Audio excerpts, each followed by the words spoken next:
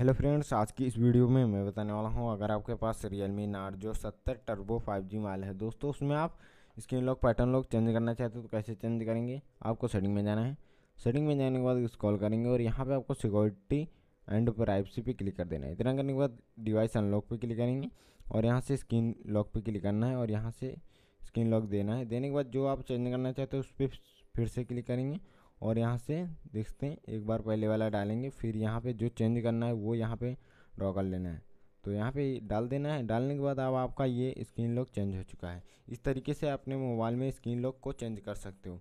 Video पसंद आए तो वीडियो को लाइक कर देना।